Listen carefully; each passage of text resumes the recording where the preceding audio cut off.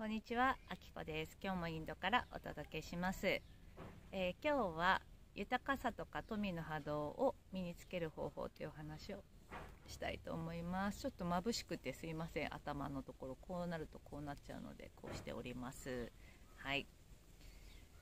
でですね、ちょっと一つお知らせの方がありまして、えー今ですね、セドナのリトリート9月に、えーセドナグランドキャニオンの、えーリトリートの方を開催することになりましたので、えーぜひ興味がある方概要欄からお申し込みよろしくお願いします、えーこちらですね、えスターシードクーさんそして、えアメリカ在住のカルマさん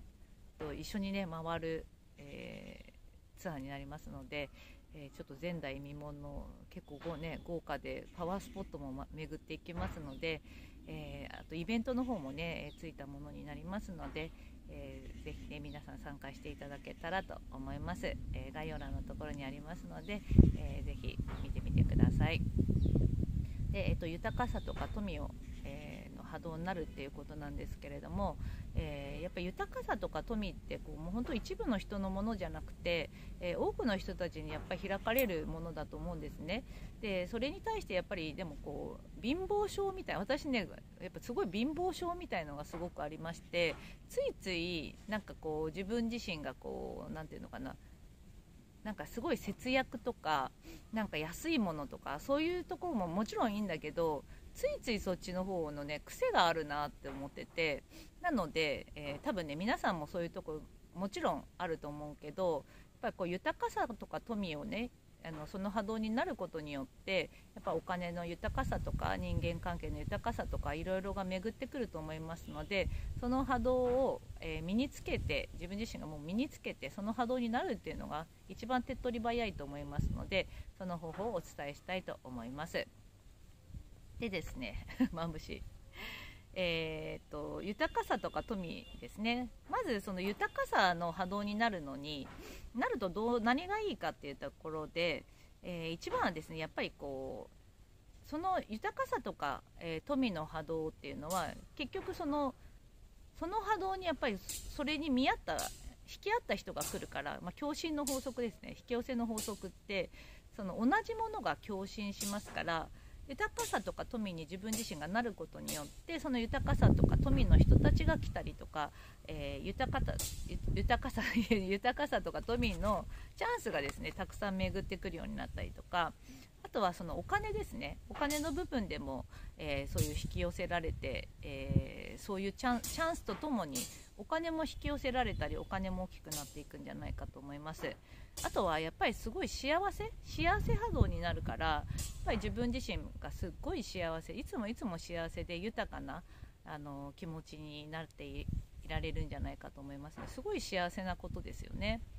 でそういう風にね皆さんなっていただきたいなと思っていますので、えーこれから、えーそのコツをお伝えしたいと思います。じゃあ今私たちはどんな波動になってるかっていうのは結構やっぱ日常的にこの今まで自分が生きてきた、えー人たちの界隈の周りの人と同じぐらいの波動みたいな感じかな。多分周りを見てみたら分かると思うんだけど今付き合ってる方とか今付き合ってるっていうのはその今関わってる方ですね、えー親とか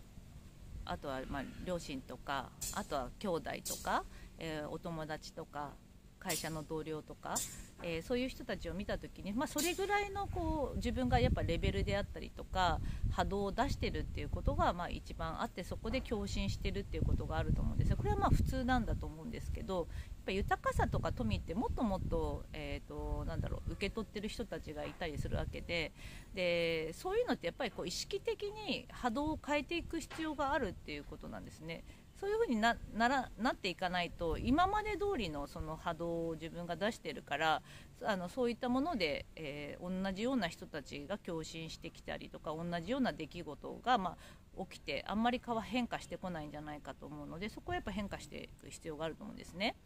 でまずですねすぐにすぐにできるやつね豊かさとか富の波動を身につけるのにすぐできることで、あのーこの今ですね、まあ、今現在こう豊かになるっていうのがすごく大事なので、えーすぐできるものとしてはあるものに意識を向けるっていうことが一番早いですね。であるものに意識を向けるっていうのはあのこういうふうに見ていただくと、ね、こう葉っぱがあるじゃないですか。このね葉っぱ木の葉っぱがあってああ木の葉っぱがある。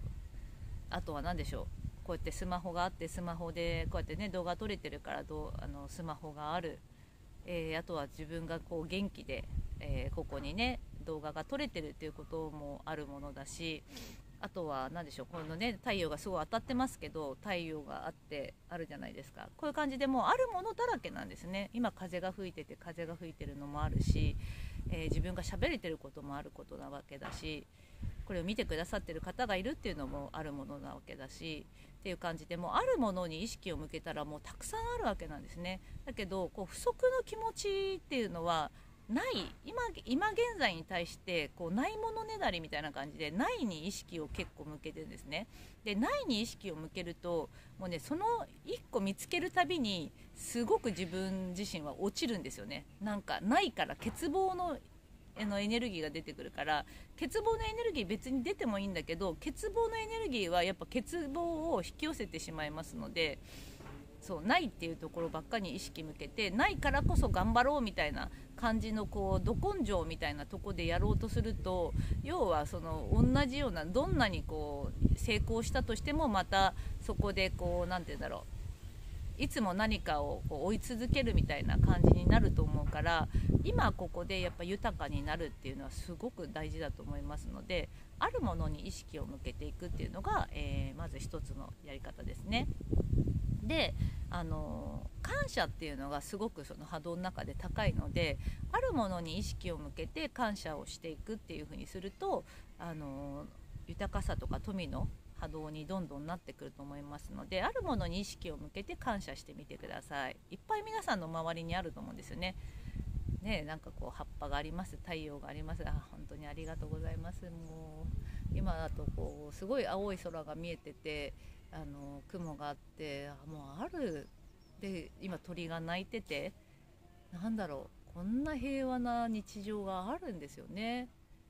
これにもこう感謝していくこと。それを感じながらありがとうございます。本当に感謝ですっていう気持ちを感じていくと満たされてきますか？ら自分自身が。でその数を増やせば増やすほどこんなに自分自身って豊かだったんだなっていうことにあの気がついていきますのでこのまずはですねあるものに意識を向けて感謝するっていうことをやってみてください。あとはですね、えー、次に、まあ、お金とかもね出てくるとお金の部分とかあの富をやっぱ受け入れるっていうことでをあのまだちょっとできてないかない方とか私もそうなんですけどついついこう貧乏症みたいのすごい出るんですよ。なんつうんだろう一番や別にいいんだよそれも楽しいんだけどなんかわざわざそういうところに意識を向けちゃうんですよね。だからなんかいつも貧しいというかみすぼらしい感じとかちょっと なんかいいんですけどそれも好きだからだけどやっぱりなんかこうなかなか自分が許可ができてないのでやっぱこう次はですね豊かになる許可を出すっていうことが大事です。自分自身がやっぱり豊かになってくると自分が変化してくるからその変わることを許可する変わることであったりとかその豊かになることを今ここで許可するっていうのがすごく大事です。ぜひね皆さん今許可してみてください。私は豊かになること富を受け入れることを許可します。うん、許可することによってもうエネルギーが変わってきますからこれがもう2つ目っていう感じですね。はいでここからですねもうこれをやってれば大体いいんだけど大体こう何ていうの自分の知ってる範囲での豊かさみたいにだんだんなってくると思うのでこれをやってさらに本当にお金の部分であったりとか仕事の部分であったりとかもう現実をどんどん変えていく、えー、本当に成功者みたいな感じの人たちと同じような感じで自分を変化させていくのにどうすればいいかっていうことをここからお話ししたいと思います。であの富とか豊かさの波動っていうのがあるじゃないですか。で富とか豊かさの波動を身につけるっていうことなのでその身につけるためにはやっぱりその波動のところに行ったりとかそういう人たちに会うっていうのがすごい大事なんですね。でここが結構どういうところがさそういう波動かなっていうことであのー、お金とか富豊かさがあるところそのそこの場所に行くっていうのが、えー、次ですね。でまあどういうところにねそういう富とか豊かさの波動をまとった人たちは行ってるかって考えた時に結構まあ、身近なところで空港とか空港ってやっぱりすごいたくさんの人が利用するじゃないですか。でやっぱり飛行機って結構お金かかるからあの飛行機が使える人って結構お金がある人って思った方がいいと思うんですね。だから豊かな人が結構多いからあの空港に行ってその波動を感じるとかあの空港の中でもラウンジとかあるじゃないですか。私はラウンジとか使わないんだけど例えばそういうラウンジとかに行くとあのそういう富とか豊かさの波動をままとってるような人とかがいたりとかいいサービスも受けたりするわけだからあの空港はすごくいいと思いますね。あとはあのホテルとかねあのちょっとワンランク上のホテルとかホテルのラウンジとかもいいと思いますなんか大体そういうとこにいる人ってちょっと豊かそうな人たちが多いと思うからなんかどこがいいかよく分かんないけどそういうホテルのラウンジとか、えー、あとはそのホテルの中でもランクの上の方の、えー、ルームね部屋を利用してみるっていうのもいいんじゃないかと思います。私はいつもあの なんでこれは私はあのいつもやってるのは大体ねあの空港近くのすごいね利便性のいいホテルとかしかだからあの安くて 安くて利便性のいいとことかいつも選ぶんだけどこの間はあのいいホテル泊まったんですよね。なんかこう誰かに誘われて行ったもので取ってくれたホテルがいいホテルでなんかこんなとこ泊まったことないよみたいな感じだったんだけどいいホテルに泊まった時にあなんかやっぱりそういう豊かさの波動ここにあるなと思ってだからなんか豊かな気持ちになるんですよね。いつも利便性を重視する私としてはあやっぱこういうところにそういう人たちは泊まるんだなと思ってあの偶然ねそういう豊かさの波動に触れちゃったみたいなとこがあったのでそういう豊かさの波動に触れるとやっぱそういう気持ちになってきたりするじゃないですか。だからそういう風なものも利用するといいと思います。これこれ波動ありますね。空港でしょ？ホテルの、まあ、ラウンジとかあとはホテルの部屋ですね。いい部屋。いいホテルのいい部屋。そんな高くなくてもいいと思うんですよ。でもなんかちょっとワンランク上に上げてみるとか、うん、そういうのでもいいと思う。あとはまああのグリーン車とかもいいかもしれないですね。いつもあの新幹線とか使ってる方とか電車使ってる方はちょっとワンランク上のねグリーン車とか使ってみるとあこういう感じなんだなとかって分かるんじゃないかと思います。であとはですねこの間行ったんだけどクルーズがやっぱり良かったんですよねクルーズってあのいろんな種類のクルーズがあると思うんですけどなんか遊びがすごいあるクルーズヨーロッパのクルーズに行ったんですけどそのクルーズもすごくこう何？豊かさの波動がすごくあってでもその遊びの部分がすごく多いから楽しくて豊かで、あのー、アクティブな感じの波動だったんですね。だからもうあそこにいるだけでクルーズもすごいこう豊かさの波動をまとうことができてあなんだろうな。やっぱなんだ人生って豊かだなってもう身にしみてしみじみと思ったっていうか。感じで思ったのでこういうクルーズとかももうていうのいろんなランクがあると思うから、えー、いろいろね試してみるといいと思うんだけどこういうところも利用するのもいいと思いますそうすると多分かなりこう豊かさの波動っていうのがあの自分に染みついてくると思うからだんだんだんだん変化してくると思いますね。あとはですねよくあるのが、まあ、人に会うっていうのが豊かな人とかに会うとかっていうのがあると思うんだけどここに結構ポイントがあってなんか全然自分が興味がない人とか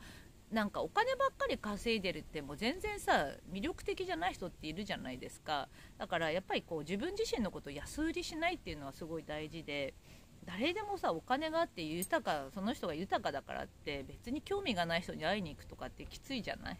きついよね。だから自分が人に会うっていうのはでもすごくその豊かさの波動をまとうことができるからあのやっぱ人ってエネルギーの交流ができるからね。だから自分自身が興味がある分野の人とかがいいですよね。興味がある分野の人の何か講演会に行ってみるとか、えー、何でしょう？そういうなんか場所に人が集まるようなところに行ってみるっていう風にするとそこに来てる人たちも同じような感じの人たち、えー、豊かな人であったりとかその波動をね身にまとってるような人とかいろんな分野の人たちがいる可能性もありますからその感じであの自分が興味がある人たちのそういうものに行ってみるっていうのもいいと思います。そうするとそこで会った人たちと、え交流が出てきたりとか、えー、いろんな豊かさの、ね、波動を身にまとうことができるかなと思います。で、まあ、そそのぐらいですね。でやっぱりこう特にお金の部分であの豊かさ欲しいよね。お金の部分で。やっぱここはなんかこう何他力本願でその富とか豊かさの波動に自分自身がなってだけどこうなんだろう。すごいなってそういう気持ちになるんだけどなかなか続かないっていう方多いと思うんですね私もそうだったしでここで私がやっぱり一番おすすめしたいのはえーと、自営業とか要はそのなんだろう富とか豊かさの、えー、ところにいる方って大体自営業とか経営者の方が多いと思うんですよ。あとはなんか投資をしてる投資で成功してる方とかそういう方が多いと思いますのでなんかそういう自分自身で要は会社員とかこう主婦だけじゃなくて自分で何かをやっぱりこう始めてみるっていうのかなそういうのもすごい大事だと思いますね。でなんか人に会ったりとかそういう波動の場所に行ったりすると大体そういう人たちってあの、まあ、話す機会があった時に話してみるといいと思うんですけど会社員の方って本当に少ないと思うんですよ。大体自分で仕事してるとかだから自由にいろんなとこ動けたりするのもあると思うしあの会社員ってやっぱりこう頭打ちというかねあの上限があるわけじゃないですか。だけど自分でお仕事をするっていうことをしてると時間の余裕もあったりとかあとはその収入も上限がないから自分次第でいくらでもこう稼げるようになったりっていうことをやっぱり体験してる方が多いんじゃない多いんだと思うんですね。だからどういう仕事の仕方してるかとかなんか聞いて回るっていうのもすごくいいと思うんですよ。そういう情報が入ってくることによってあこういう風なことをしてるからこういう風になっていくんだって自分自身のこうなんかからくりが謎解きみたいなこともできたりすると思うからあのそういう働き方について聞いてみるっていうのもいいと思いますしあとはなんか自らがこうそういう波動を身にまといながら自分で何かこうお仕事を自営業自営業っていうとちょっと難しくなるかもしれないけど何か自分から生み出して、えー、お仕事をしていくフリーランスっていう形でもいいし何かできることからでいいと思うんですけどそれをこうなんかこう大きくしていくのもいいと思いますしそういう働き方に慣れていくっていうことをしていくとやっぱ富とか豊かさの波動により近くなってくるんじゃないかと思いますね。そういう人にあと出会う確率も結構増えるんじゃないかと思います。私もなんか自分で、えーと、自営業を始めたのが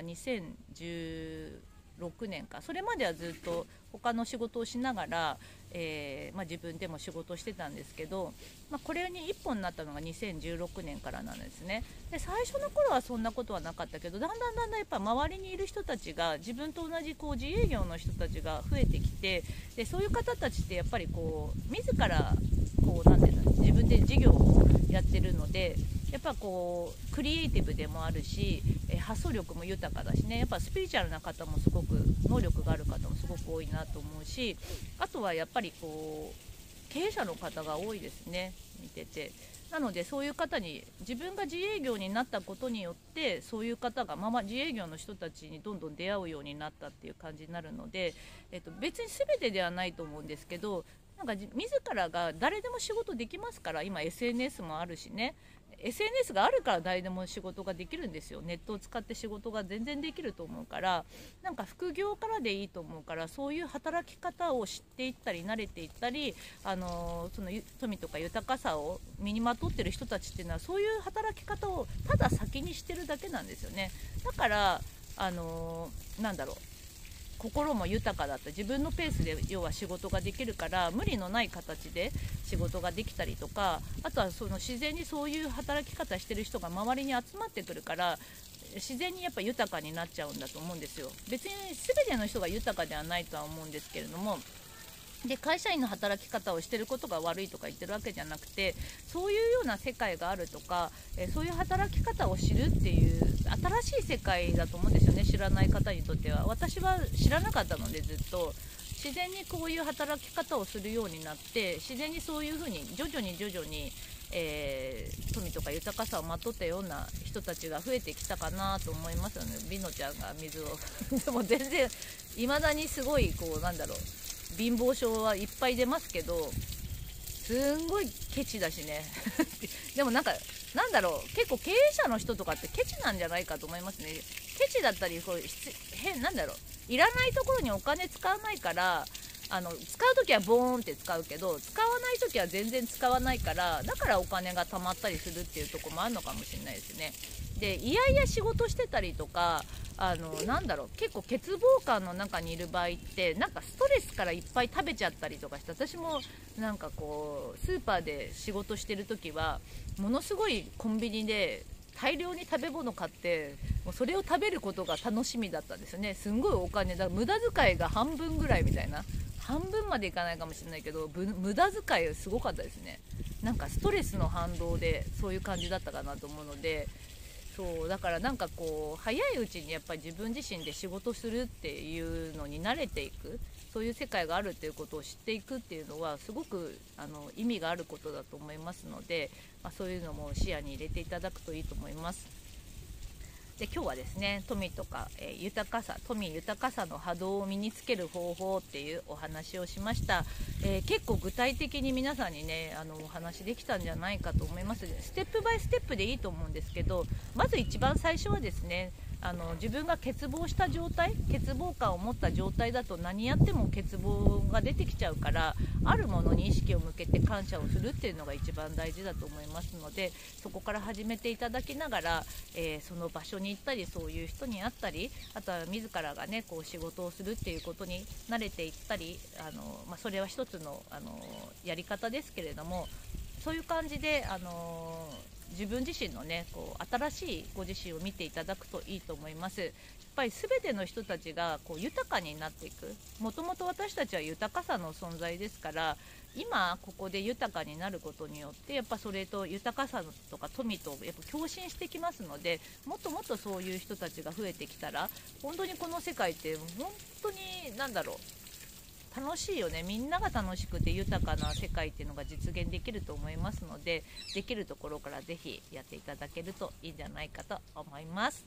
はい。以上です。ではでは。